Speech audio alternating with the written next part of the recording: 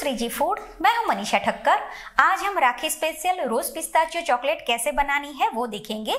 इस तरह की डिज़ाइनर चॉकलेट मार्केट में तो मिलती है, लेकिन हम घर में बहुत ही आसानी से ये चॉकलेट बना सकते हैं।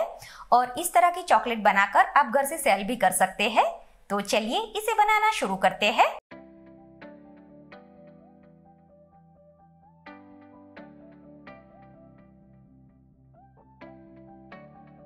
चॉकलेट बार बनाने के लिए यहाँ पर मैंने 150 ग्राम व्हाइट चॉकलेट लिया है, जिसे मैंने पहले ही चॉप करके तैयार रखा है। जो चॉकलेट हमने कट करके रखा है, उसे हम एक कांच के बॉल में ले लेंगे और आज हम ये चॉकलेट डबल बॉयलर से मेल्ट करेंगे। तो इसके लिए एक बर्तन में पानी गर्म करने के लिए रखना है।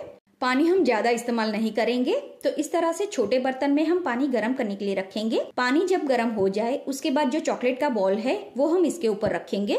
जो पानी का बर्तन है, वो हमें छोटा लेना है, और जो चॉकलेट का बॉल है, वो वो बर्तन से थोड़ा बड़ा होना चाहिए। अब गैस की फ्लेम मीडियम कर देनी है। जैसे जैसे पानी उबलता जाएगा, उसकी भाप से ये चॉकलेट मेल्ट होने लगती है। अगर आप ये चॉकलेट माइक्रोवेव में मेल्ट करना चाहते हैं, वो भी मैंने चैनल पे दिखाया है। अगर आप इसे माइक्रोवेव में मेल्ट करते हैं तो डायरेक्ट ही उसे एक मिनट पे नहीं रखना है। पहले आप उसे थर्टी सेकेंड पे रखें। जब चॉकलेट थोड़ा मेल्ट हो जाए, उसके बाद आप उसे चला ले और अगर ज़रूरत लगे तो उस हिसाब से आप फिर से उसे 10 से 15 सेकंड के लिए या फिर 20 सेकंड के लिए रखें। तो आप देख सकते हैं धीरे धीरे चॉकलेट मेल्ट होने लगी है। अब देख सकते हैं, इसमें अभी छोटे छोटे चॉकलेट के दाने हैं, लेकिन हम चॉकलेट को कंटिन्यूस चलाते जाएँगे तो ये अच्छी तरह से पिघल जाता है। तो ये बॉल हम नीचे उतार कर चॉकलेट को हम कंटिन्यूस चलाएँगे।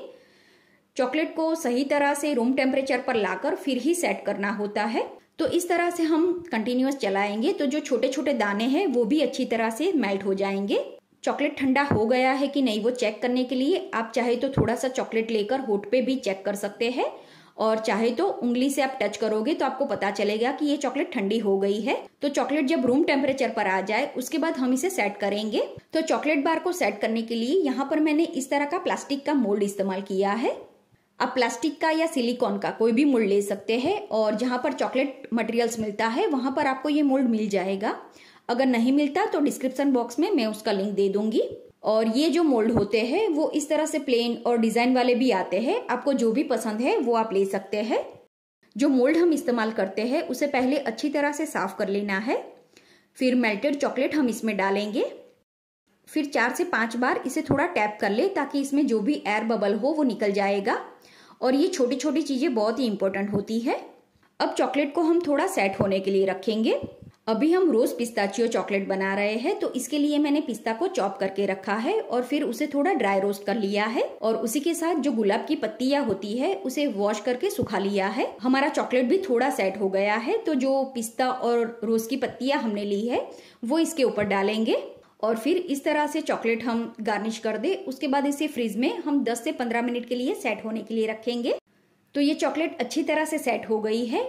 अब हम इसे मोल्ड से निकाल लेंगे। तो मोल्ड को आप इस तरह से उल्टा करोगे तो चॉकलेट आसानी से निकल जाती है।